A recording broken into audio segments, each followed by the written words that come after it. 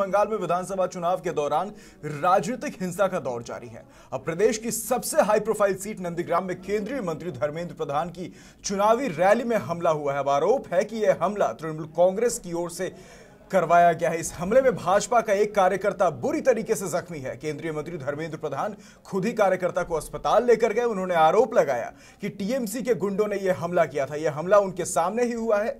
उन्होंने ये भी कहा कि अस्पताल के बाहर टीएमसी के तमाम गुंडे भी खड़े थे।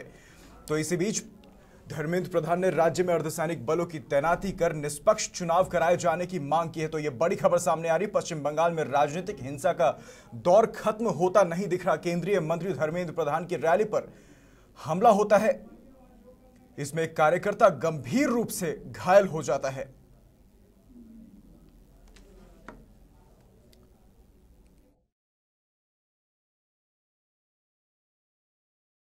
तो ये तस्वीर आप नंदीग्राम की देख रहे केंद्रीय मंत्री धर्मेंद्र प्रधान की रैली पर हमला हुआ। इसमें बीजेपी का एक कार्यकर्ता गंभीर रूप से जख्मी हो गया है। ये धर्मेंद्र प्रधान का वो ट्वीट, जिसमें वो साफ़ तौर पर कह रहे हैं कि इस घटना के पीछे टीएमसी का हाथ है।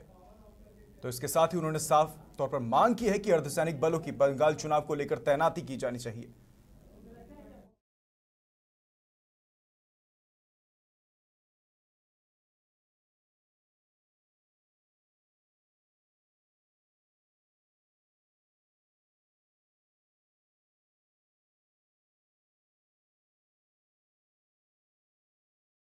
टेलीग्राम की तस्वीरें आप देख रहे हैं। पश्चिम बंगाल में हिंसा का दौर जारी है।